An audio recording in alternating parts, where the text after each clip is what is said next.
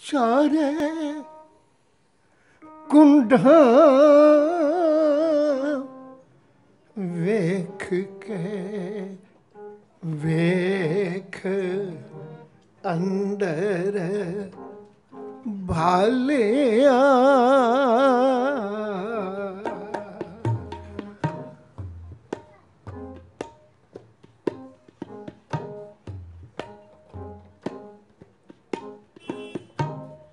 ਚਾਰੇ ਕੁੰਡਾ ਵੇਖ ਅੰਦਰ ਭਲਿਆ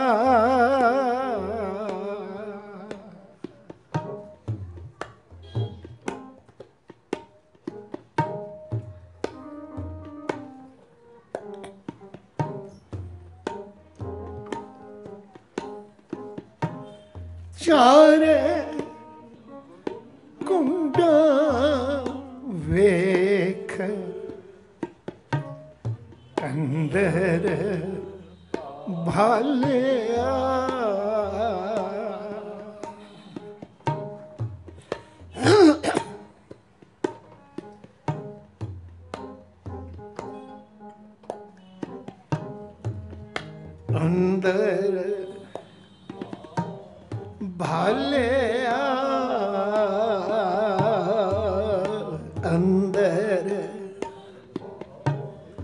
ਭਾਲਿਆ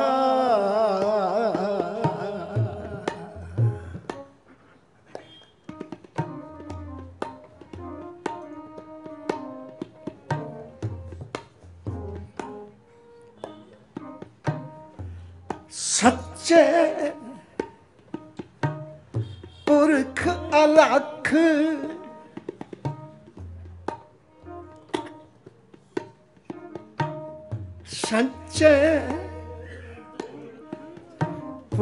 ਪੁਰਖ ਅਲਖ। ਸਿਰਜ ਨਿਹਾਲਿਆ।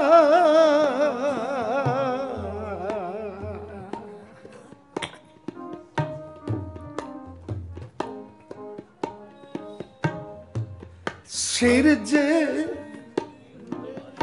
ਨਿਹਾਲਿਆ।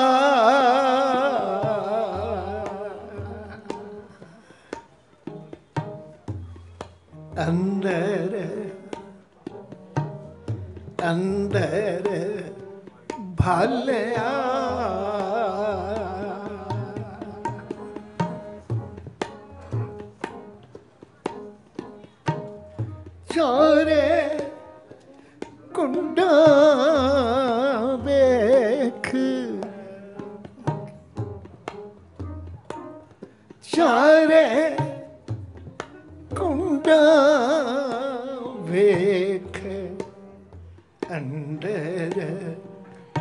ਭਾਲਿਆ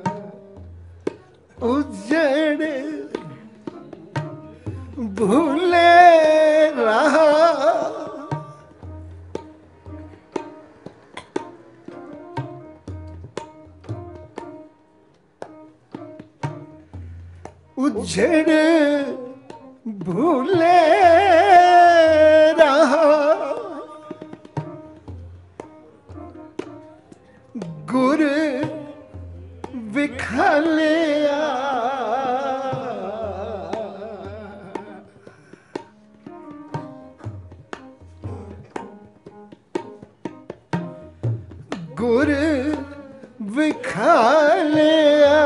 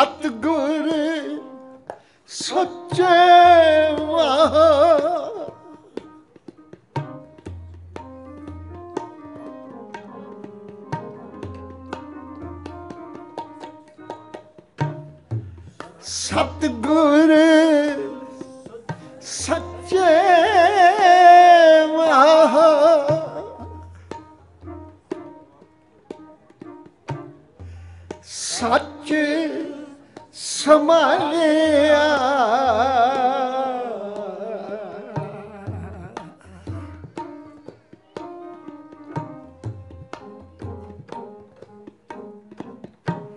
ਸੱਚ ਸਮਾਲਿਆ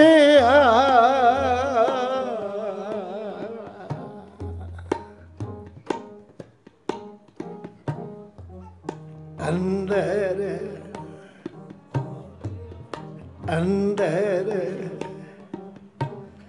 ਭਲਿਆ ਅੰਦਰ ਭਲਿਆ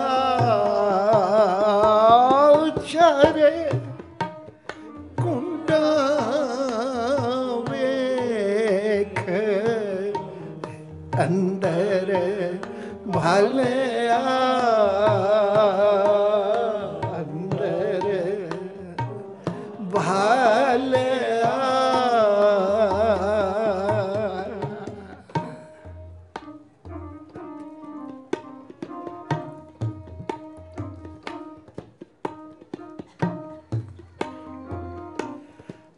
ਪਾਇਆ ਪਾਇਆ ਰਤਨ ਘਰਾ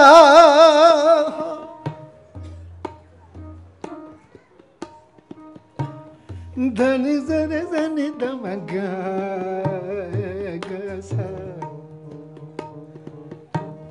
सा ग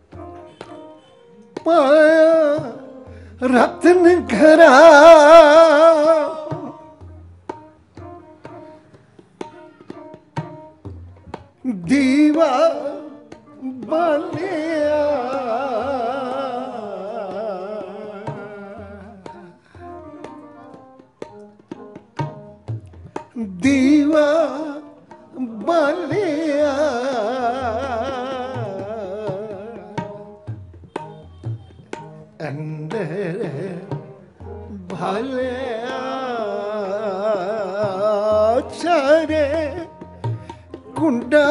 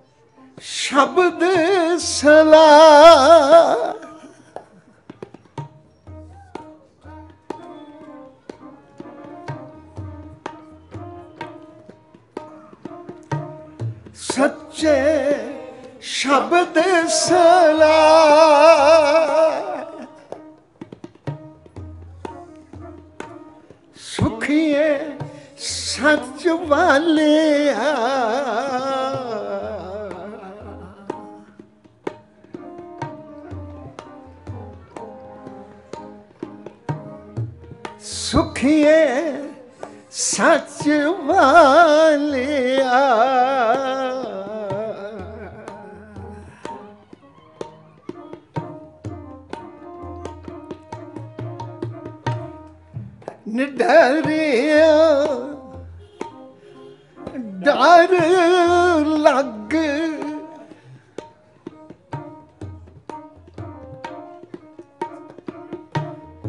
ਨਿਡਰਿਆ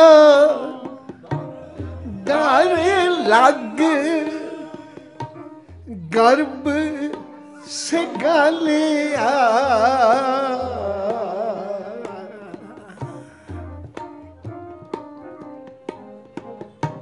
ਗਰਭ ਸਿਗਾਲਿਆ ਗਰਭ ਸਿਗਾਲਿਆ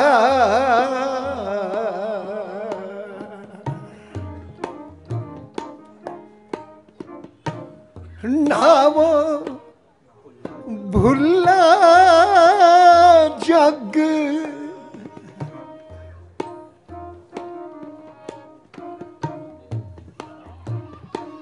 ਨਾਮ ਭੁੱਲਾ ਜਗ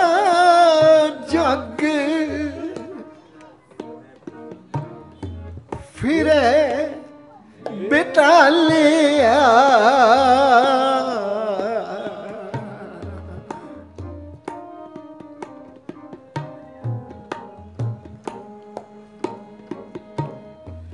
ਫਿਰੇ ਬਿਟਾ ਲਿਆ।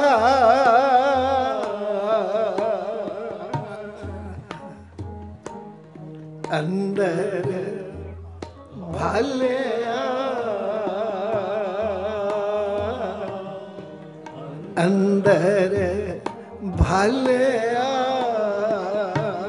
ਚੋਰ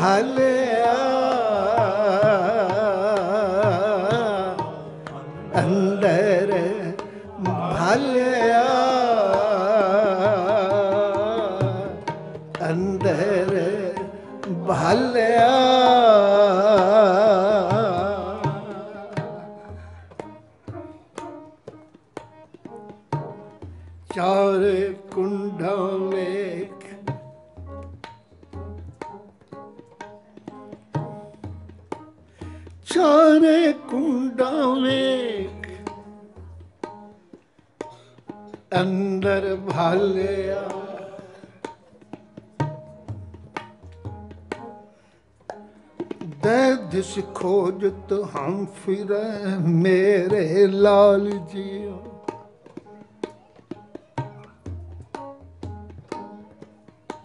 ਦੇ ਦਿਸ ਖੋਜਤ ਹਮ ਫਿਰੇ ਮੇਰੇ ਲਾਲ ਜੀਓ।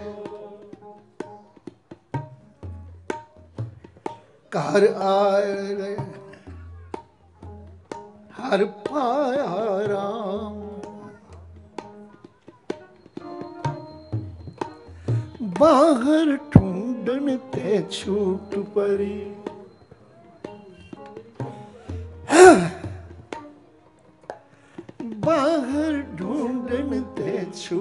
ਪਰੀ ਗੁਰ ਘਰ ਹੀ ਮਾਹੇ ਦਿਖਾਇਆ ਥਾ ਕਤ ਜਾਈਏ ਰੇ ਕਤ ਜਾਈਏ ਰੇ ਜੇ ਜਾਈਏ ਤੈਂ ਜਲ ਪਖਾਨ ਕਤ ਜਾਈਏ ਰੇ ਘਰ ਲਾਗੋ ਰੰਗ। ਘਰ ਲਾਗੋ ਰੰਗ ਕਤ ਜਾਈਏ ਰੇ, ਸਭ ਕਿਛ ਘਰ ਮੈਂ।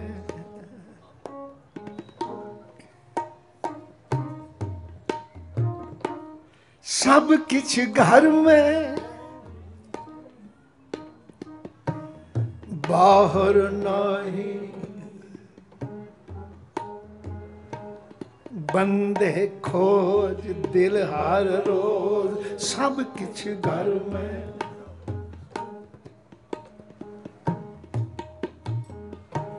ਬੰਦੇ ਖੋਜ, ਦਿਲ ਹਰ ਰੋਜ਼।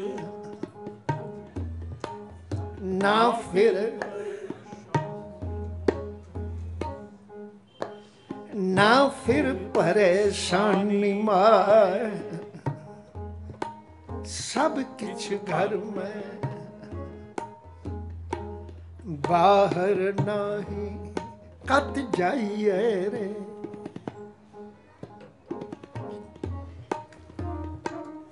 ਪੂਜਨ ਚਾਲੀ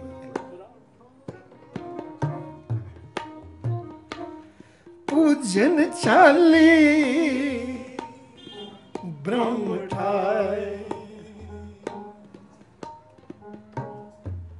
ਸੋ ਬ੍ਰਹਮ ਬਤਾਇਓ, ਗੁਰ ਮਨ ਹੀ ਮਾਏ, ਸਭ ਕਿਛ ਘਰ ਮੈਂ।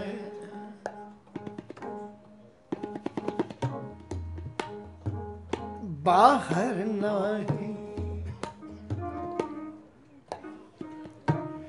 ਬਾਹਰ ਟੋਲੇ, ਸੋ ਪਰਮ ਬੁਰਾਈ।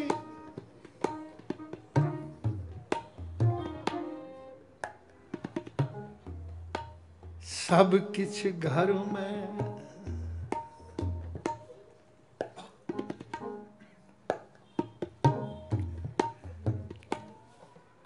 ਇੱਕ ਸਬਜੈਕਟ ਲਗਾਤਾਰ ਅੱਜ ਇਹ ਤੀਸਰਾ ਪ੍ਰੋਗਰਾਮ ਹੈ। ਮੈਂ ਕੀਤੀ ਸੀ, ਮੈਂ ਚਾਹਨਾ ਉਸ ਮਸਲੇ ਨੂੰ ਤੇ ਉਹਦੇ ਹਰ ਪੱਖ ਨੂੰ ਵੱਖ-ਵੱਖ ਢੰਗ ਨਾਲ ਵਿਚਾਰ ਕੇ ਅੱਗੇ ਲੰਗੀ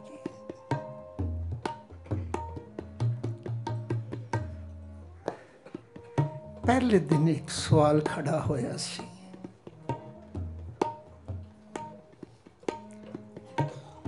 ਸਦਾ ਸਲਾਮਤ ਖਸਮ ਹਮਾਰਾ।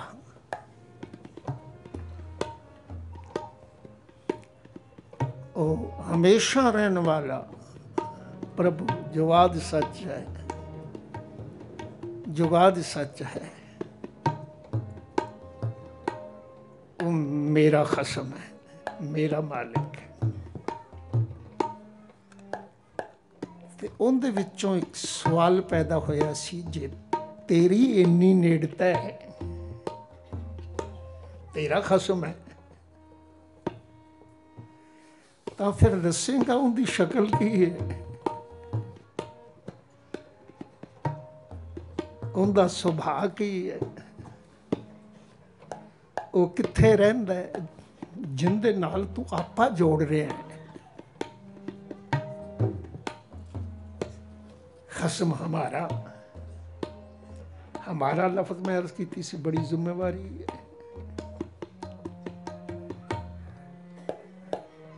ਮੈਂ ਆਖਾਂ ਇਹ ਘਰ ਮੇਰਾ ਹੈ, ਪਰ ਕੋਈ ਪੁੱਛੇ ਇਸ ਘਰ ਦਾ ਐਡਰੈਸ ਕੀ ਕੋਈ ਪਤਾ ਨਹੀਂ। ਇਹਦੇ ਵਿੱਚ ਕੌਣ ਕੌਣ ਰਹਿੰਦਾ ਹੈ? ਉਹਦਾ ਜੀਆਂ ਨੂੰ ਮੈਂ ਨਹੀਂ ਜਾਣਦਾ। ਘਰ ਮੇਰਾ ਹੈ। ਸੁਣਨ ਵਾਲਾ ਹੈਰਾਨ ਤੇ ਹੋਵੇਗਾ ਨਾ ਤੂੰ ਕਹਿੰਦਾ ਰੱਬ ਮੇਰਾ ਹੈ। ਤੇ ਮੈਂ ਕਹਿੰਦਾ, ਫਿਰ ਕਿਉਂ ਜੇ ਦੱਸ ਤੂੰ ਉਹਨੂੰ ਜਾਣਨਾ ਹੈ? ਕਦੀ ਵੇਖਿਆ ਕਿੱਥੇ ਰਹਿੰਦਾ ਉਹਦਾ ਐਡਰੈਸ ਪਛਾਣਨਾ ਮਯੂਸ ਸਿਰ ਫੇਰ ਦਿੱਤਾ, ਮੈਂ ਨਹੀਂ ਜਾਣਦਾ। ਪਹਿਲੇ ਦਿਨ ਦੱਸੀ ਤੇ ਦੂਜੇ ਦਿਨ ਫਿਰ ਮਸਲਾ ਇਦੋਂ ਅੱਗੇ ਤੁਰਿਆ ਸੀ। ਉਹ ਇਹ ਕਿ ਰੱਬ ਪ੍ਰਭੂ ਮੇਰਾ ਖਸਮ ਤੇ ਮੈਂ ਇੱਕੋ ਥਾਂ 'ਤੇ ਰਹਿੰਦੇ ਆ ਇਹ ਪਤਾ ਲੱਗ ਗਿਆ ਹੈ।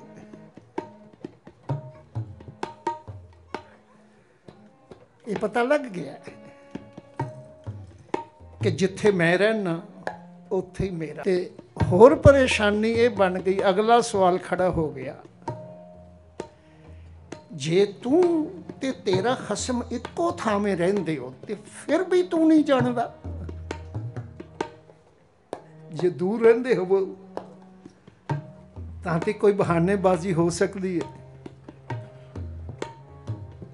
ਤੂੰ ਤੇ ਮਾਲਿਕ ਇੱਕੋ ਥਾਵੇਂ ਰਹਿੰਦੇ ਹੋ, ਤੇ ਜਵਾਬ ਸੀ, ਇੱਕੋ ਥਾਵੇਂ, ਇੱਕਾ ਸੰਗਤ, ਇਕਤ ਗ੍ਰਹਿ ਬਸਤੇ ਮਿਲ ਬਾਤ ਨਾ ਕਰਤੇ ਭਾਈ। ਮਾਇਆ ਮਦ ਮਾਤਾ ਹੋਛੀ ਬਾਤਾ, ਮਿਲਨ ਨਾ ਜਾਈ ਭਰਮ ਧੜਾ। ਕਹੋ ਨਾਨਕ ਗੁਰ ਬਿਨ ਨਹੀਂ ਸੂਝੈ ਹਰ ਸਾਜਨ ਸਭ ਕੇ ਨਿਕਟ ਖੜਾ, ਨੇੜੇ ਹੈ। ਪਰ ਫਿਰ ਵੀ ਮੈਂ ਉਹਨੂੰ ਨਹੀਂ ਜਾਣਦਾ। ਕੱਲ, ਅੱਜ ਸਵੇਰ ਦਾ ਇਹ ਮਸਲਾ ਸੀ। ਹੁਣ ਮੈਂ ਇਸ ਤੋਂ ਅੱਗੇ ਵਧਣਾ ਚਾਹਨਾ ਇਹ ਵੀ ਪਤਾ ਲੱਗ ਗਿਆ ਮੈਂ ਤੇ ਮੇਰਾ ਮਾਲਕ ਇੱਕੋ ਥਾਂ ਰਹਿੰਦੇ ਆ ਇਹ ਵੀ ਪਤਾ ਲੱਗ ਗਿਆ ਕਿ ਸਾਡੀ ਨਗਰੀ ਵੀ ਇੱਕੋ ਹੈ, ਕਾਇਆ। ਤਨ ਮੈਂ ਮਨੂਆ ਮਨ ਮੈਂ ਸੱਚਾ। ਤੇ ਇੱਥੇ ਹੀ ਰੱਬ ਰਹਿੰਦਾ ਹੈ, ਇਸ ਕਾਇਆ ਅੰਦਰ ਜਗ ਜੀਵਨ ਦਾਤਾ ਵਸੇ ਸਭ ਨਾ ਕਰੇ ਪ੍ਰਤਪਾਲਾ। ਮੈਂ ਵੀ ਉੱਥੇ ਰਹਿਣਾ ਉਹ ਵੀ ਉੱਥੇ ਰਹਿੰਦਾ। ਸਵਾਲ ਇੱਥੇ ਖੜਾ ਹੋ ਗਿਆ ਸੀ। ਸੁਣ ਸਖੀ, ਜੀ ਮੈਂ ਪੀ ਵਸੈ ਕਿ ਪੀ ਮੈਂ ਵਸੇ ਕਿ ਜੀ ਜਿਉ ਪੀਉ, ਸੂਝੇ ਨਹੀਂ ਘਟ, ਮੈਂ ਜਿਉ ਕਿ ਪੀ। ਇੱਕੋ ਥਾਂ ਵਸਦੇ ਹੋਏ, ਏਕਾ ਸੰਗਤ ਇਕਤ ਗ੍ਰਹਿ ਬਸਤੇ, ਮਿਲ ਬਾਤ ਨਾ ਕਰਤੇ ਭਾਈ। ਮੇਰਾ ਤੇ ਮੇਰੇ ਰੱਬ ਦਾ ਟਿਕਾਣਾ ਵੱਖਰਾ ਨਹੀਂ। ਇੱਕੋ ਥਾਂ ਹੈ। ਤੇ ਫਿਰ ਵੀ ਤੂੰ ਉਸ ਨੂੰ ਨਹੀਂ ਜਾਣਦਾ। ਆ ਹੁਣ ਤੀਜਾ ਫਿਰ ਸਵਾਲ ਆ ਗਿਆ।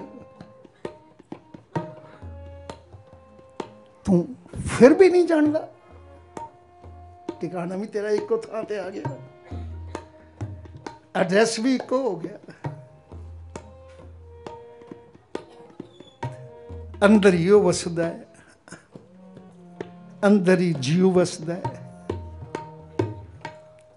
ਜੰਗਲ ਜੰਗਲ ਕਿਆ ਭਵੇਂ ਵਣ ਕੰਡਾ ਮੋੜੇ, ਵਸੀ ਰੱਬ ਇਹ ਹਾਲੀ ਜੰਗਲ ਕਿਆ ਢੂੰਡੇ ਕਾਹੇ ਰੇ ਬਨ ਖੋਜਣ ਜਾਈ? ਗੁਰੂ ਤੇਗ ਬਹਾਦਰ ਪਾਤਸ਼ਾਹ। ਕਾਹੇ ਰੇ ਬਨ ਖੋਜਣ ਜਾਈ? ਸਰਬ ਨਿਵਾਸੀ ਸਦਾ ਅਲੇਪਾ। ਤੋ ਹੀ ਸੰਗ ਸਮਾਈ ਤੇਰੇ ਨਾਲ ਰਹਿੰਦਾ ਹੈ। ਵੱਖਰਾ ਨਹੀਂ, ਉਸੇ ਘਰ ਵਿੱਚ ਰਹਿੰਦਾ ਹੈ। ਤੋ ਹੀ ਸੰਗ ਸਮਾਈ। ਪੋਪ ਮਦ ਜੋ ਬਾਸ ਬਸਤ ਹੈ ਮੁਕਰਮਾਏ ਜੈਸੇ ਛਾਈ, ਤੈਸੇ ਹੀ ਹਰ ਬਸੇ ਨਿਰੰਤਰ। ਆ ਘਟ ਹੀ ਖੋਜੋ ਭਾਈ, ਹੈ ਭਾਈ। ਅੰਦਰ ਖੋਜਣਾ ਸ਼ੁਰੂ ਕਰ। ਅੰਦਰ ਲੱਭ। ਬਾਹਰ ਭੀਤਰ ਇੱਕੋ ਜਾਣੋ। ਇਹ ਗੁਰ ਗਿਆਨ ਬਤਾਈ। ਅੰਦਰ ਲੱਭ। ਹੁਣ ਇੱਥੇ ਫਿਰ ਰੁਕਣਾ ਚਾਹਨਾ ਇੱਥੋਂ ਆਪਾਂ ਅਗਲਾ ਸਬਜੈਕਟ ਹੈ, ਅੰਦਰ ਵੀ ਲੱਭਾਂ। ਬਾਹਰ ਤਾਂ ਭਲਾ ਲੱਭਣ ਦਾ ਸਵਾਲ ਪੈਦਾ ਹੋਇਆ, ਜੋਗੀ, ਜਤੀ, ਤਪੀ, ਸਾਰੇ ਲੱਭਦੇ ਹੀ ਰਹੇ। ਜੰਗਲਾਂ ਵਿੱਚ ਲੱਭਿਆ, ਪਹਾੜਾਂ ਦੀਆਂ ਕੰਦਰਾਂ ਵਿੱਚ ਲੱਭਿਆ। ਪਰ ਮੈਂ ਸੋਚੀ ਪੈ ਗਿਆ, ਅੰਦਰ ਵੀ ਲੱਭਾਂ। ਇੱਕ ਖਿਆਲ ਕਰਿਓ। ਮੈਂ ਕੱਲ ਵੀ ਸਵੇਰੇ ਗੱਲ ਕਹੀ ਸੀ, ਸ਼ਾਮੀ।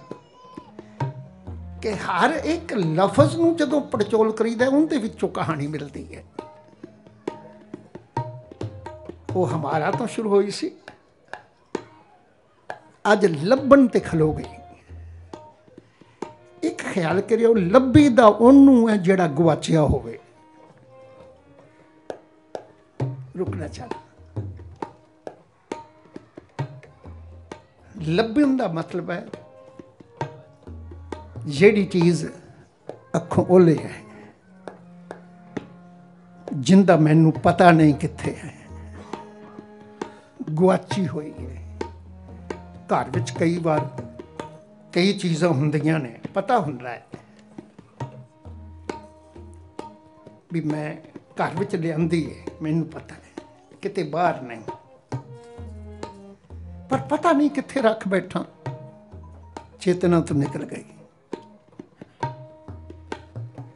ਯਾਦਾਸ਼ਤ ਤੋਂ ਨਿਕਲ ਗਈ। ਮੈਮਰੀ ਕਮਜ਼ੋਰ ਹੋ ਗਈ। ਤੇ ਕਹਿਣ ਲੱਗ ਪਿਆ ਵੀ ਇੰਨਾ ਕੁ ਤਾਂ ਮੈਨੂੰ ਪਤਾ ਵੀ ਮੈਂ ਕਰ ਲਿਆਂਦੀ ਹੈ ਪਰ ਪਤਾ ਨਹੀਂ ਕਿੱਥੇ ਰੱਖ ਬੈਠਾ। ਹੁਣ ਉਹ ਲੱਭਦਾ ਫਿਰਦਾ ਉਹ ਲੱਭਣਾ ਆਉਂਦੀ ਚੇਤਨਤਾ ਦੀ ਕਮਜ਼ੋਰੀ ਸਾਬਤ ਇੰਨਾ ਕੁ ਪਤਾ ਹੈ ਵੀ ਹੈ ਘਰ ਵਿੱਚ। ਹੁਣ ਪਹਿਲੇ ਦੋ ਦਿਨਾਂ, ਦੋ ਸਮਿਆਂ ਦੇ ਮਸਲੇ ਨੇ, ਇਹ ਤਾਂ ਕਲੀਅਰ ਕਰ ਦਿੱਤਾ ਵੀ ਤੇਰੇ ਅੰਦਰ ਹੈ, ਕਿਤੇ ਬਾਹਰ ਨਹੀਂ। ਘਰ ਵਿੱਚ ਹੈ। ਤੇ ਫਿਰ ਵੀ ਮਸਲਾ ਲੱਭਣ ਦਾ ਆ ਗਿਆ ਤਾਂ ਇਹਦਾ ਮਤਲਬ ਤੇਰੀ ਚੇਤਨਾ ਕਮਜ਼ੋਰ ਹੈ। ਰੱਬ ਤੇਰੇ ਕੋਲੋਂ ਗਵਾਚ ਗਿਆ ਇੱਥੇ ਰੁਕਣਾ ਚਾਹੁੰਦਾ। ਅੰਦਰ ਹੋਵੇ ਰੱਬ। ਅੰਦਰ ਹੋਵੇ ਰੱਬ। ਖਸਮ ਮੇਰਾ ਅੰਦਰ ਹੋਵੇ। ਤੇ ਮੈਂ ਉਹਨੂੰ ਭਾਲਦਾ ਫਿਰਾਂ। ਲੋਕ ਕੀ ਆਖਣਗੇ? ਕੀ ਆਖਣਗੇ? ਕਮਲਾ ਹੀ ਹੋ ਗਿਆ। ਗੁਰੂ ਨੇ ਐਵੇਂ ਨਹੀਂ ਆਖਿਆ, ਨਾਮੋ ਭੁੱਲਾ, ਜਗ ਫਿਰੇ। ਬੇਤਾਲਿਆ ਬੇਤਾਲਾ ਕੀ ਤਾਲੋਂ ਖੁੱਸਿਆ ਹੋਇਆ। ਸੰਸਾਰ ਕਿਤੇ ਬੇਤਾਲਾ ਤਾਂ ਨਹੀਂ ਹੋ ਗਿਆ। ਰੱਬ ਢੂੰਡਦਾ ਫਿਰਦਾ।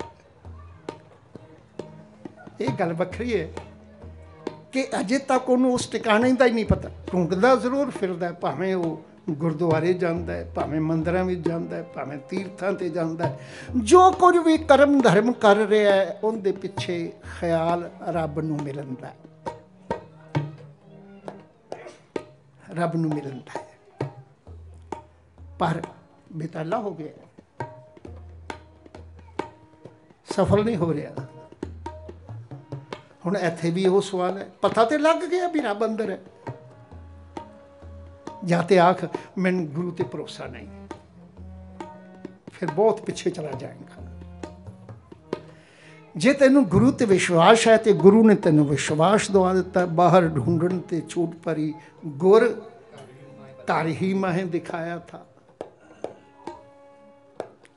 ਰੱਬ ਤੇਰੇ ਅੰਦਰ ਹੈ। ਹੈ ਕਹਿਣ ਲੱਗਾ, ਇਹ ਵੀ ਮੈਨੂੰ ਪਤਾ ਹੈ। ਮੈਂ ਗੁਰੂ ਤੇ ਭਰੋਸਾ ਰੱਖਣਾ। ਮੇਰੇ ਗੁਰੂ ਨੇ ਮੈਨੂੰ ਆਖਿਆ, ਰੱਬ ਤੇਰੇ ਅੰਦਰ ਹੈ। ਤੇ ਫਿਰ ਲੱਭਣਾ ਲੱਭਣਾ ਇਹਦਾ ਮਤਲਬ ਰੱਬ ਗਵਾਚ ਗਿਆ ਤੇਰੇ ਕੋਲੋਂ? ਕਹਿੰਦਾ, ਨਹੀਂ, ਮੇਰੀ ਚੇਤਨਤਾ ਵੀ ਕਮਜ਼ੋਰ ਨਹੀਂ ਹੋਈ ਰੱਬ ਪ੍ਰਤੀ ਚੇਤਨਤਾ ਕਮਜ਼ੋਰ ਨਹੀਂ ਹੋਈ ਸ਼ਰਧਾ ਅੱਗੇ ਨਾਲੋਂ ਵਧੀ ਹੈ ਚਾਓ ਵੀ ਅੱਗੇ ਨਾਲੋਂ ਵਧਿਆ ਹੈ। ਅੱਗੇ ਹੋ ਸਕਦਾ ਐਨੇ ਇਕੱਠ ਐਨੀਆਂ ਔਕੜਾਂ ਝਾਕ ਕੇ ਨਾ ਹੁੰਦੇ ਹੁਣ ਜਿੰਨੇ ਹੁਣ ਹੁੰਦੇ। ਜਦੋਂ ਜੀਵਨ ਦਾ ਇੱਕ ਇੱਕ ਪਲ ਕੀਮਤੀ ਹੈ, ਉਦੋਂ ਵੀ ਹੁੰਦੇ ਨੇ। ਇਹਦਾ ਮਤਲਬ ਚਾਉ ਹੈ। ਚੇਤਨਤਾ ਕਮਜ਼ੋਰ ਨਹੀਂ ਹੋਈ। ਫਿਰ ਵੀ ਰੱਬ ਗਵਾਚ ਗਿਆ। ਇਹ ਵੀ ਪਤਾ ਲੱਗ ਗਿਆ ਅੰਦਰ ਹੈ। ਤੇ ਤੂੰ ਅੰਦਰੋਂ ਨਹੀਂ ਲੱਭ ਸਕਦਾ ਪਿਆ, ਕਿੱਡੀ ਅਜੀਬ ਗੱਲ ਹੈ। ਜਦ ਪਤਾ ਹੋਵੇ ਨਾ ਵੀ ਟਿਕਾਣਾ ਨਹੀਂ, ਤਾਂ ਤੇ ਤੂੰ ਆਖੇ ਮੈਨੂੰ ਨਹੀਂ ਨਹੀਂ ਲੱਭਦਾ। ਜਦ ਤੈਨੂੰ ਪਤਾ ਲੱਗ ਗਿਆ ਕਿ ਰੱਬ ਮੇਰੇ ਅੰਦਰ ਹੈ, ਫਿਰ ਵੀ ਤੂੰ ਅਜੇ ਕਹਿੰਦਾ, ਮੈਂ ਲੱਭ ਰਿਹਾ। ਲੋ ਕਹਿਣ ਲੱਗਾ, ਪਹਿਲਾਂ ਮੈਂ ਚਾਰੇ ਕੁੰਡਾਂ ਵਿੱਚ ਭਾਲਦਾ ਸੀ। ਪਰ ਵੇਖ ਵੇਖ ਕੇ ਚਾਰੇ ਕੁੰਡਾਂ ਨੂੰ ਥੱਕ ਗਿਆ। ਮੈਨੂੰ ਗੁਰੂ ਨੇ ਆਖਿਆ, ਰੱਬ ਅੰਦਰ ਹੈ। ਹੁਣ ਮੈਂ ਅੰਦਰੋਂ ਭਾਲਣਾ ਸ਼ੁਰੂ ਕੀਤਾ। ਚਾਰੇ ਕੁੰਡਾਂ ਵੇਖ ਅੰਦਰ ਭਾਲਿਆ। ਹੁਣ ਮਸਲਾ ਆ ਗਿਆ। ਅੰਦਰੋਂ ਕਿਉਂ ਨਹੀਂ ਲੱਭਦਾ? ਗਵਾਚਣ ਦੀਆਂ ਦੋ ਤਿੰਨ ਕਿਸਮਾਂ ਹੁੰਦੀਆਂ। ਕਿਉਂਕਿ ਗੁਰਬਾਣੀ ਨੂੰ ਜਿਉਂ ਜਿਉਂ ਵਿਚਾਰੀਏ ਸਵਾਦ ਆਉਂਦਾ ਹੈ। ਜ਼ਿੰਦਗੀ ਦੀ ਕਹਾਣੀ ਹੈ ਨਾ। ਸੱਚੀ ਫਿਲਮ ਹੈ। ਕਹਿਣ ਲੱਗਾ ਦੋ ਤਿੰਨ ਕਿਸਮਾਂ ਹੁੰਦੀਆਂ ਨੇ। ਇੱਕ ਹੁੰਦਾ ਹੈ, ਮੇਰੀ ਚੇਤਨਤਾ ਕਮਜ਼ੋਰ ਹੋ ਜਾਏ ਤੇ ਕੋਈ ਚੀਜ਼ ਗਵਾਚ ਜਾਏ, ਉਹਨੂੰ ਲੱਭਦਾ ਫਿਰਾਂ। ਇੱਕ ਹੁੰਦਾ ਕਿ ਜਿੱਥੇ ਲੱਭ ਰਿਹਾ ਉੱਥੇ ਇੰਨੇ ਚੀਜ਼ਾਂ ਦੇ, ਵਸਤੂਆਂ ਦੇ ਅੰਬਾਰ ਲੱਗੇ ਹੋਣ, ਬਹੁਤੀਆਂ ਹੋਣ। ਤੇ ਉਹਨਾਂ ਵਿੱਚ ਉਹ ਚੀਜ਼ ਗਵਾਚ ਜਾਏ ਆ ਦੋਵਾਂ ਦਾ ਫ਼ਰਕ ਹੈ। ਮੈਂ ਰੱਖ ਕੇ ਭੁੱਲਿਆ ਨਹੀਂ। ਮੈਨੂੰ ਪਤਾ ਹੈ ਅੰਦਰ ਹੈ। ਪਰ ਮੁਸ਼ਕਲ ਇਹ ਬਣ ਗਈ, ਜਿਸ ਅੰਦਰੋਂ ਮੈਂ ਲੱਭਣਾ ਚਾਹਨਾ ਉਸ ਅੰਦਰ ਦੇ ਅੰਦਰ ਕਿੰਨੀਆਂ ਚੀਜ਼ਾਂ ਨੇ, ਉਹ ਗਿਣਤੀ ਕੋਈ ਨਹੀਂ ਰਹੀ। ਲਓ, ਇੱਥੇ ਰੁਕਣਾ ਚਾਹਨਾ ਗੁਰਬਾਣੀ ਦੀ ਇੱਕ ਲਾਈਨ ਹੈ, ਉਹ ਸਾਂਝੀ ਕਰਕੇ ਮੈਂ ਨਾ ਤੁਰਨਾ। ਗੁਰੂ ਕਹਿਣ ਲੱਗੇ, ਤੂੰ ਕਹਿਣਾ ਰੱਬ ਦਿਲ ਵਿੱਚ ਵਸਦਾ ਹੈ ਜੰਗਲ ਜੰਗਲ ਪਿਆ ਭਵੇਂ ਬਣ ਕੰਡਾ ਮੋੜੇ ਬਸੀ ਰਬ ਹੈ ਆਲੀਏ तू कहना है अल्लाह एक मसीत बसता है और बुरु किल किस केरा तू कहना है दिल में खोज दिलो दिल खोजो यही ठौर मुकामा ਇਸ ਤੋਂ ਹੋਰ ਯਕੀਨ ਕੀ ਦਵਾਇਆ ਜਾ ਸਕਦਾ ਉਹ ਭਰਿਆ ਦਿਲ ਵਿੱਚ ਹੀ ਤੇਰੇ ਹੈ। ਦਿਲ ਵਿੱਚ ਲੱਭ। ਦਿਲ ਮੈਂ ਖੋਜ। ਦਿਲੋ ਦਿਲ ਖੋਜੋ। ਇਹੀ ਠੌਰ ਰੱਬ ਇੱਥੇ ਹੀ ਹੈ, ਕਿਤੇ ਬਾਹਰ ਨਹੀਂ। ਲੋ ਹੁਣ ਇਹ ਤਾਂ ਯਕੀਨ ਕਰ ਦਿਵਾਨ ਵਾਲੀ ਗੱਲ ਹੈ ਨਾ। ਕਨਫਿਊਜ਼ ਨਹੀਂ ਕਰ ਕੀਤਾ ਗਿਆ ਵੀ ਹੈ ਕਿ ਨਹੀਂ। ਯਕੀਨ ਦਵਾਇਆ ਗਿਆ। ਇਹੀ ਠੌਰ ਮੁਕਾਮਾ ਕਿ ਫਿਰ ਕਿਉਂ ਨਹੀਂ ਲੱਭਦਾ? ਲੋ ਇੱਥੇ ਰੁਕਣਾ ਹੈ ਇਹ ਬੜੀ ਕੰਮ ਦੀ ਗੱਲ ਹੈ। ਸ੍ਰੀ ਗੁਰੂ ਗ੍ਰੰਥ ਸਾਹਿਬ ਦੀ ਬਾਣੀ ਅੰਦਰ ਇੱਕ ਲਾਈਨ ਸ਼ਬਦ ਹੈ, ਲਾਈਨ ਹੈ, ਉਹਦੀ ਮੈਂ ਤੁਹਾਡੇ ਨਾਲ ਸਾਂਝੀ ਕਰਨਾ ਚਾਹੁੰਦਾ। ਗੁਰੂ ਕਹਿੰਦੇ ਨੇ,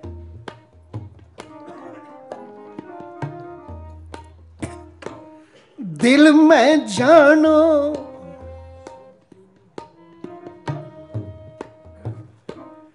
ਦਿਲ ਮੈਂ ਜਾਣੋ, ਸਭ ਫਿਲਹਾਲ ਕੀ ਕਰਾਂ? ਦਿਲ ਵਿੱਚ ਤਾਂ ਬਹੁਤ ਕੁਝ ਬੈਠਾ ਹੈ, ਉਹਦੇ ਵਿੱਚ ਰੱਬ ਗਵਾਚ ਗਿਆ ਇਹ ਨਹੀਂ ਕਿ ਮੈਨੂੰ ਪਤਾ ਨਹੀਂ, ਰੱਖ ਕੇ ਭੁੱਲ ਗਿਆ, ਇਹ ਨਹੀਂ ਗੱਲ। ਫਿਲਹਾਲਾਂ ਦਾ ਅਰਥ ਬੜਾ ਸਪਸ਼ਟ ਹੈ, ਬਾਣੀ ਵਿੱਚੋਂ ਨੇ। ਫਿਲਹਾਲਾਂ ਦਾ ਮਤਲਬ ਹੈ ਜਿਹੜੀ ਚੀਜ਼ ਹੁਣ ਹੈ, ਅਗਲੇ ਪਲ ਹੋਣ ਦਾ ਯਕੀਨ ਨਹੀਂ। ਗੁਰਬਾਣੀ ਨੇ ਆਖ ਦਿੱਤਾ, ਕਹਿਣ ਲੱਗੇ, ਦੁਨੀਆ ਚੀਜ਼ ਫਿਲਹਾਲ ਸਗਲੇ। ਜਿੰਨੀ ਦੁਨੀਆ ਦੀ ਵਸਤੂ ਹੈ, ਜਿਹੜੀ ਦਿਸਦੀ ਹੈ, ਸੰਸਾਰ ਦੀ ਕੁਦਰਤ ਦੀਆਂ ਜਿੰਨੀਆਂ ਵਸਤੂਆਂ ਨੇ, ਉਹ ਸਾਰੀਆਂ ਫਿਲਹਾਲ ਨੇ। ਹੁਣ ਹੈ, ਅਗਲੇ ਪਲ ਹੋਵੇ ਨਾ ਹੋਵੇ, ਕੋਈ ਵਿਸ਼ਵਾਸ ਨਹੀਂ। ਬਸ ਜਿਹੜੀ ਹੁਣ ਹੈ, ਉਹ ਹੀ ਹੁਣ ਹੈ। ਫਿਲਹਾਲ ਦਾ ਮਤਲਬ ਕੀ ਹੁਣ? ਆਪਾਂ ਕਿਸੇ ਨੂੰ ਫੋਨ ਕਰੀਏ ਨਾ, ਤੇ ਜਦੋਂ ਦੇ ਆ ਮੋਬਾਈਲ ਫੋਨ ਨਿਕਲੇ ਨੇ, ਉਦੋਂ ਦਾ ਇਹ ਪਤਾ ਨਹੀਂ ਹੁੰਦਾ ਵੀ ਜਿਹਨੂੰ ਫੋਨ ਕਰ ਰਹੇ ਆ, ਉਹ ਕਿੱਥੇ ਹੈ। ਜਿਹੜੇ ਦੂਸਰੇ ਫੋਨ ਸਨ ਤਾਂ ਉਹ ਤਾਂ ਪਤਾ ਲੱਗਦਾ ਸੀ ਨਾ ਵੀ ਮੈਂ ਘਰ ਫੋਨ ਕਰ ਰਿਹਾ, ਇਸ ਲਈ ਘਰ ਹੀ ਹੋਵੇਗਾ, ਤਾਂ ਹੀ ਚੁੱਕੇਗਾ। ਪਰ ਇਹ ਗੱਲ, ਇਹ ਸ਼ਰਤ ਮੋਬਾਈਲ ਫੋਨ ਤੇ, ਸੈੱਲ ਫੋਨ ਤੇ ਲਾਗੂ ਨਹੀਂ ਹੁੰਦੀ, ਕਿਉਂਕਿ ਉਹ ਤੇ ਜੇਬ ਵਿੱਚ ਰਹਿੰਦਾ। ਜਦੋਂ ਮੋਬਾਈਲ ਫੋਨ ਦਾ ਕੋਈ ਫੋਨ ਅਟੈਂਡ ਕਰਦਾ ਹੈ, ਨਾ ਚੁੱਕਦਾ ਹੈ, ਤੇ ਪਹਿਲਾ ਸਵਾਲ ਹੁੰਦਾ ਕਿੱਥੇ ਹੋ ਹੈ। ਕਿੱਥੇ ਹੋ? ਤੇ ਉਹ ਕਈ ਵਾਰ ਜਾਂਦਾ ਹੋਵੇ ਜਾਂ ਕਿਤੇ 2-4 ਮਿੰਟ ਲਈ ਰੁਕਿਆ ਹੋਵੇ। ਤੇ ਉਹ ਫਿਰ ਇਹ ਲਫ਼ਜ਼ ਵਰਦਾ ਕਹਿੰਦਾ, ਫਿਲਹਾਲ ਮੈਂ ਇੱਥੇ ਆ ਉਹਦਾ ਮਤਲਬ ਹੁੰਦਾ, ਹੁਣ ਬਸ। ਇਹ ਜ਼ਰੂਰੀ ਨਹੀਂ ਕਿ ਅੱਧੇ ਘੰਟੇ ਬਾਅਦ ਵੀ ਮੈਂ ਇੱਥੇ ਹੀ ਹੋਵਾਂਗਾ। ਫਿਲਹਾਲ ਦਾ ਲਫ਼ਜ਼ ਤਾਂ ਨਾ ਸਾਂਝਾ ਕਰਨਾ ਚਾਹੁੰਦਾ। ਫਿਲਹਾਲ ਦਾ ਅਰਥ ਹੈ ਹੁਣ। ਫਿਲਹਾਲ ਮੈਂ ਇੱਥੇ ਹਾਂ ਇੱਕ ਘੰਟੇ ਬਾਅਦ ਉੱਥੇ ਪਹੁੰਚ ਜਾਵਾਂਗਾ। ਜੇ ਤੂੰ ਘੰਟੇ ਬਾਅਦ ਮੈਨੂੰ ਫੋਨ ਕਰਨਾ ਹੋਵੇ, ਤਾਂ ਉੱਥੇ ਕਰਨਾ ਹੋਵਾਂਗਾ। ਪਰ ਫਿਲਹਾਲ ਮੈਂ ਇੱਥੇ ਹਾਂ ਫਿਲਹਾਲ ਦਾ ਅਰਥ ਹੈ ਹੁਣ। ਤੇ ਗੁਰੂ ਨੇ ਬਾਣੀ ਵਿੱਚ ਵੀ ਕਹਿ ਦਿੱਤਾ ਕਿ ਦੁਨੀਆ ਚੀਜ਼ ਫਿਲਹਾਲ ਸਗਲੇ ਜਿੰਨੀ ਸੰਸਾਰ ਦੀ ਵਸਤੂ ਹੈ, ਉਹ ਸਾਰੀ ਫਿਲਹਾਲ ਵਿੱਚ ਆਉਂਦੀ ਹੈ ਕਿ ਹੁਣ ਹੈ। ਹੁਣ ਹੈ। ਪਤਾ ਨਹੀਂ ਅਗਲੇ ਪਲ ਸਵੇਰ ਮੈਂ ਹੋਵਾਂ, ਨਾ ਹੋਵਾਂ। ਹੁਣ ਹੈ।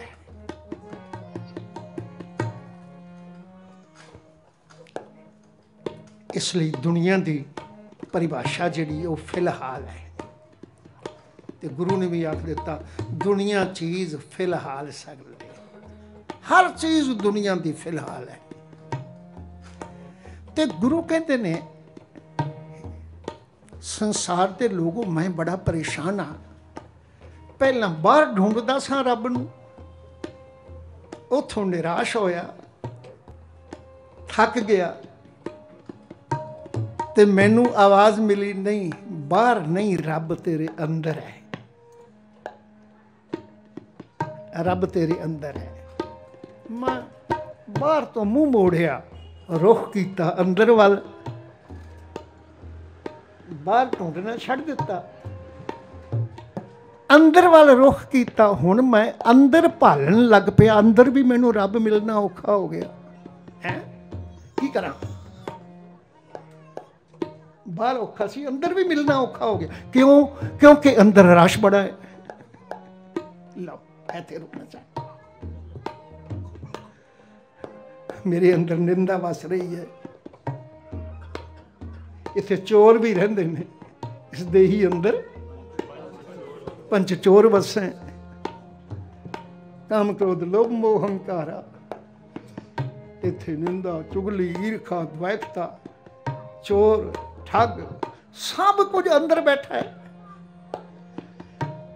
ਇੰਨਾ ਰਸ਼ ਹੈ, ਉਸ ਰਸ਼ ਵਿੱਚ ਰੱਬ ਗੁਆਚ ਗਿਆ, ਇੱਥੇ ਵੀ ਮੈਨੂੰ ਲੱਭਣਾ ਪੈ ਰਿਹਾ। ਮੁਸ਼ਕਲ ਤਾਂ ਅੰਦਰ ਵੀ ਹੈ। ਇਹ ਲੱਗੇ ਨਿਰਾ ਰੱਬ ਨੂੰ ਬਾਹਰ ਪਾਲਣ ਦੀ ਮੁਸ਼ਕਲ ਨਹੀਂ, ਅੰਦਰ ਵੀ ਰੱਬ ਪਾਲਣ ਦੀ ਇੱਕ ਮੁਸ਼ਕਲ ਬਣ ਗਈ। ਕਿਉਂ? ਕਿਉਂਕਿ ਅੰਦਰ ਇੱਕ ਨਹੀਂ, ਬਹੁਤ ਫਿਰਦੇ ਨੇ। ਜਿੰਨੇ ਅਵਗੁਣ ਨੇ, ਸਭ ਅੰਦਰ ਨੇ। ਜਿੰਨੇ ਪਾਪ ਨੇ, ਝੂਠ ਦੁਆਕ ਇਹ ਤਾਂ ਕਿਤੇ ਰਹਿ ਗਈ। ਹੁਣ ਤੇ ਮੈਨੂੰ ਇੱਕ ਭੁਲੇਖਾ ਪੈਣ ਲੱਗਿਆ ਅੰਦਰ। ਕੀ ਕਹਾਂ? ਭਗਵਤੀ ਵੀ ਬੈਠੀ ਹੈ। ਮੈਂ ਤੇ ਉਹਨੂੰ ਰੱਬ ਸਮਝ ਬੈਠਾ। ਰੱਬ ਗਵਾਚ ਗਿਆ। ਅੰਦਰ ਮਾਂ ਕਾਲ ਵੀ ਫਿਰਦਾ ਅੰਦਰ ਦੁਰਗਾ ਵੀ ਮੈਂ ਕਿੰਨੂੰ ਕਿੰਨੂੰ ਕਿੰਨੂੰ ਵੇਖਾਂ ਕਿ ਰੱਬ ਹੈ? ਲੋ ਰੱਬ ਗਵਾਚਿਆ ਕਿ ਅੰਦਰ ਵੀ ਗਵਾਚ ਗਿਆ। ਔਰ ਉਹ ਅੰਦਰ ਬੈਠੀ, ਬਕਾਇਦਾ ਥਾਂ ਮਲ ਕੇ ਬੈਠੀ। ਉਹ ਕਿਵੇਂ ਨਿਕਲੇ? ਅੰਦਰਲਾ ਰਸ਼ ਘਟੇ ਤੇ ਮੈਨੂੰ ਰੱਬ ਮਿਲੇ। ਐਨੇ ਔਗਣ ਅੰਦਰ ਬੈਠੇ ਨੇ। ਹੁਣ ਤਾਂ ਜਦੇ ਭਗਵਤੀ ਨੂੰ ਬਾਹਰ ਕੱਢਣਾ ਚਾਹਨਾ, ਉਹ ਨਹੀਂ ਨਿਕਲਦੀ। ਗੁਰੂ ਨੇ ਮਾਇਆ ਦੀ ਗੱਲ ਕੀਤੀ ਨਾ, ਉੱਥੇ ਵੀ ਲਵਸ ਗਿਆ ਜੈ ਬੈਸੋ, ਤੇ ਨਾਲੇ ਬੈਸੇ।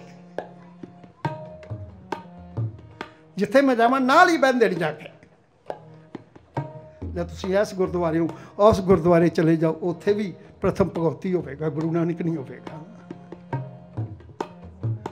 ਉਸ ਨੂੰ ਛੱਡ ਕੇ ਅਗਲੇ ਗੁਰਦੁਆਰੇ ਚਲੇ ਜਾਓ। ਉੱਥੇ ਵੀ ਪ੍ਰਥਮ ਭਗਵਤੀ ਹੋਵੇਗਾ। ਜਦ ਬੈਸੋ ਤੇ ਨਾਲੇ ਬੈਸੇ। ਉਹ ਇੰਨੀ ਬਲਵਾਨ ਹੋ ਗਈ ਹੈ ਕਿ ਸਬਲ ਪ੍ਰਵੇਸ਼ ਹੈ। ਆਪਣੀ ਸ਼ਕਤੀ ਨਾਲ, ਬਲਵਾਨਤਾ ਨਾਲ ਪ੍ਰਵੇਸ਼ ਕਰ ਜਾਂਦੀ ਉੱਥੇ। ਲੋ ਆ ਹੈ ਮੇਰੇ ਅੰਦਰ ਦੀ ਹਾਲਤ। ਹੁਣ ਦੱਸੋ ਮੈਂ ਕਿੱਥੇ ਜਾਵਾਂ? ਰੱਬ ਨੂੰ ਢੂੰਡਣ ਮੈਂ ਜਾਣਨਾ ਚਾਹਨਾ ਮੇਰੇ ਤੇ ਪਹਿਲਾ ਸਵਾਲ ਜਿਹੜਾ ਪਹਿਲੇ ਪ੍ਰੋਗਰਾਮ ਵਿੱਚ ਆਰੰਭ ਹੋਇਆ ਹੈ, ਉਹ ਮੇਰੇ ਸਾਹਮਣੇ ਹੈ। ਕਿ ਮੈਂ ਜਾਣਨਾ ਚਾਹਨਾ ਰੱਬ ਕੀ ਹੈ? ਮਿਲਣਾ ਚਾਹਨਾ ਰੱਬ ਕੀ ਹੈ? ਮੈਨੂੰ ਉਹਦੇ ਐਡਰੈਸ ਦਾ ਵੀ ਪਤਾ ਲੱਗ ਗਿਆ। ਹੁਣ ਉਹਨੂੰ ਮਿਲਣਾ ਵੀ ਚਾਹਨਾ, ਪਰ ਮੁਸ਼ਕਲੇ ਬਣ ਗਈ। ਬਹੁਤੀਆਂ ਚੀਜ਼ਾਂ ਵਿੱਚ ਗਵਾਚ ਗਿਆ ਹੈ।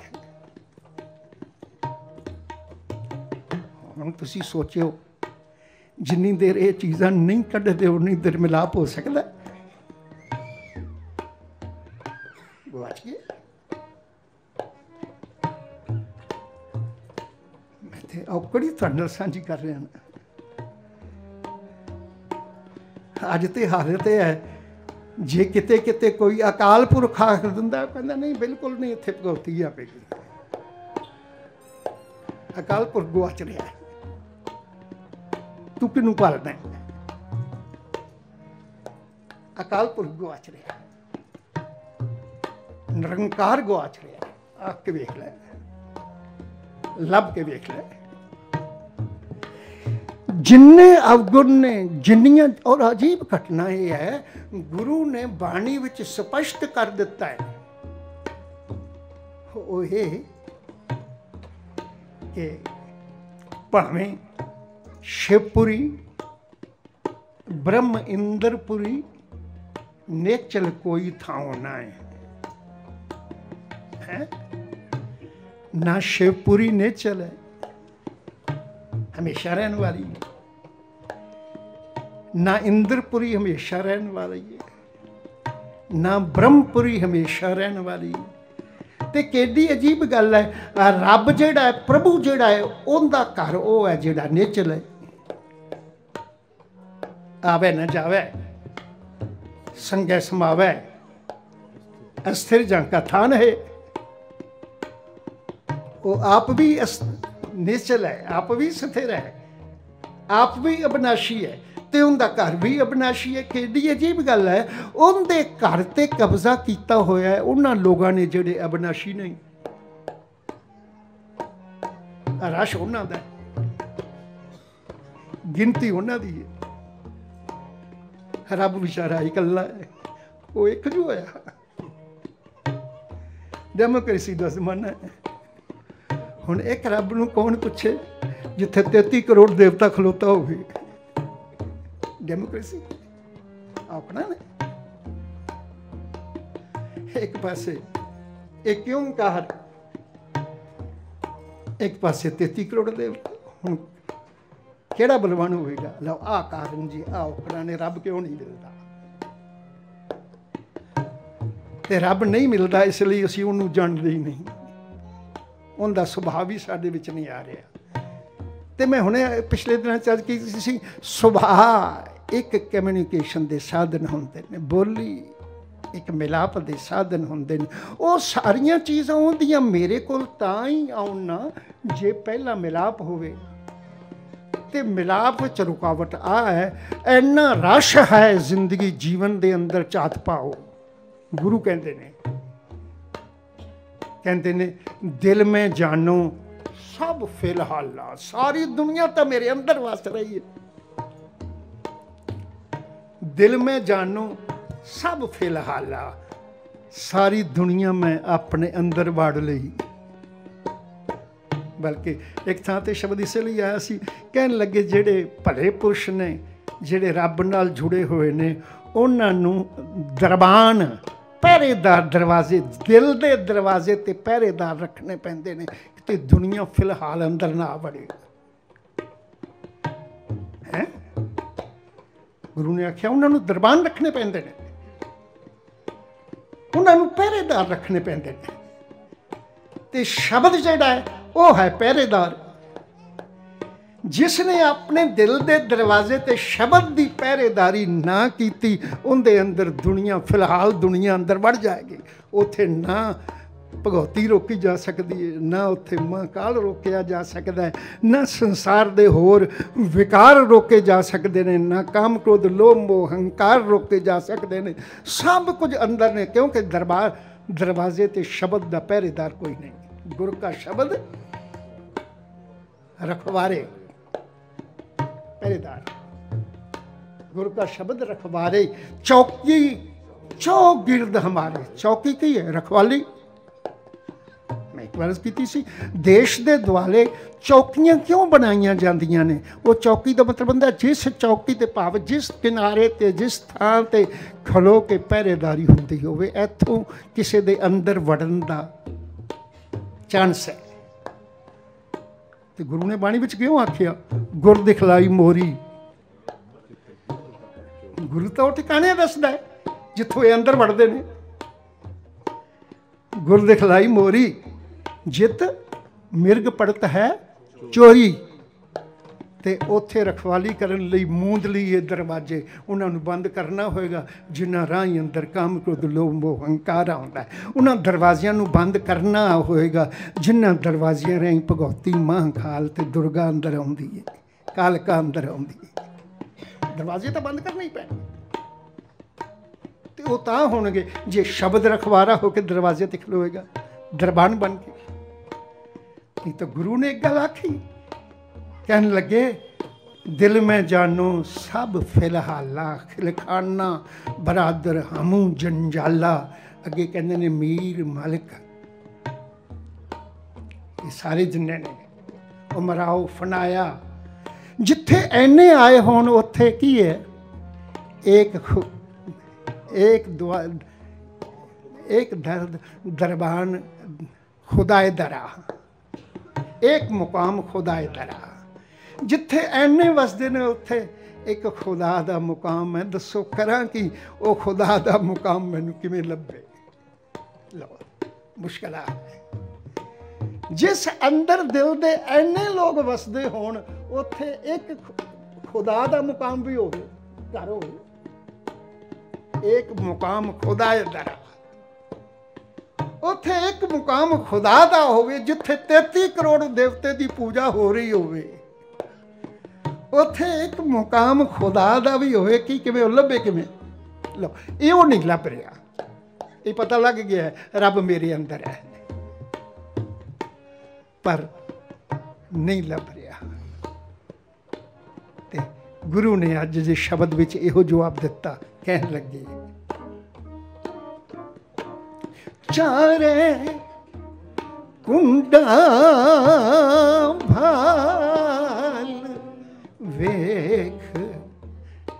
ਅੰਦਰ ਭਾਲਿਆ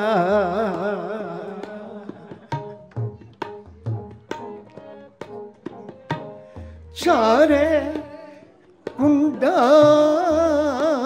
ਵੇਖ ਅੰਦਰ ਭਲਿਆ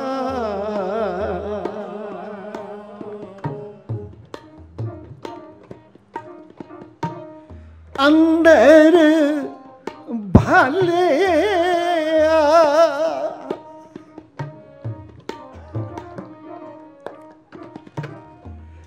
ਅੰਦਰ ਭਲਿਆ ਚਾਰੇ ਕੁੰਡਾ ਵੇਖ ਚਾਰੇ ਕੁੰਡਾ ਵੇਖ ਅੰਦਰ ਭਲਿਆ ਅੰਦਰ ਭਲੇ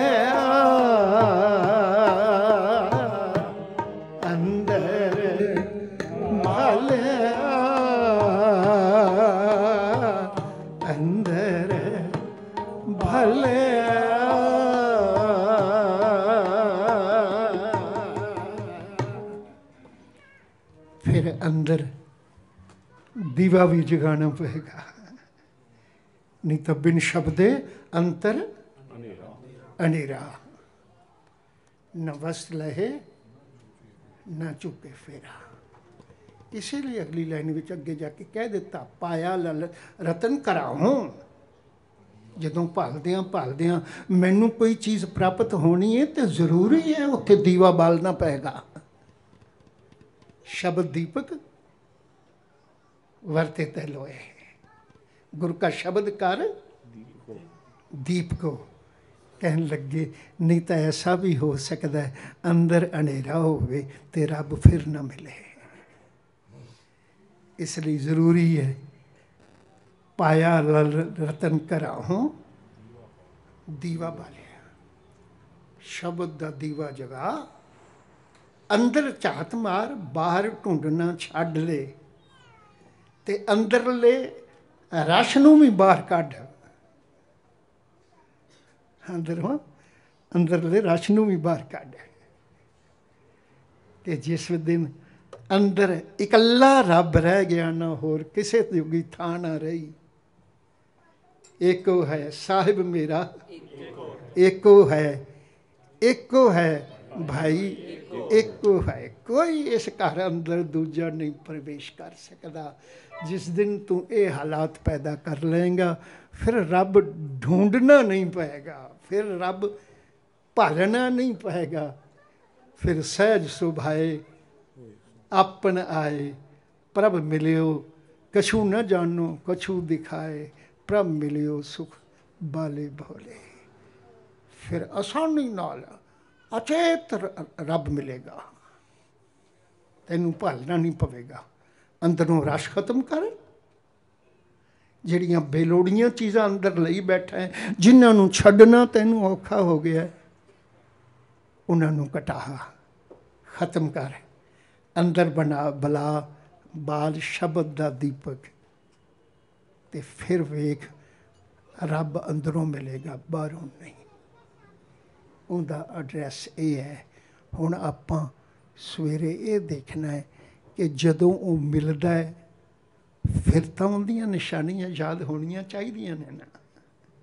ਪਹਿਲਾਂ ਤਾਂ ਅਸੀਂ ਮਯੂਸ ਹੋ ਗਏ, ਆਖਿਆ ਜਦੋਂ ਕਿਸੇ ਨੇ ਪੁੱਛਿਆ, ਤੂੰ ਜਿਸ ਰੱਬ ਨੂੰ ਆਪਣਾ ਆਖਣਾ, ਉਹ ਕਿਹੋ ਜਿਹਾ ਉਹਦਾ ਕੀ ਸੁਭਾਅ? ਅਸੀਂ ਮਯੂਸ ਹੋ ਗਏ। ਲਾਜਵਾਬ ਹੋ ਗਏ। ਪਰ ਜਿਸ ਵੇਲੇ ਮਿਲ ਗਿਆ, ਫਿਰ ਸਾਡੇ ਕੋਲ ਕੋਈ ਬਹਾਨਾ ਨਹੀਂ।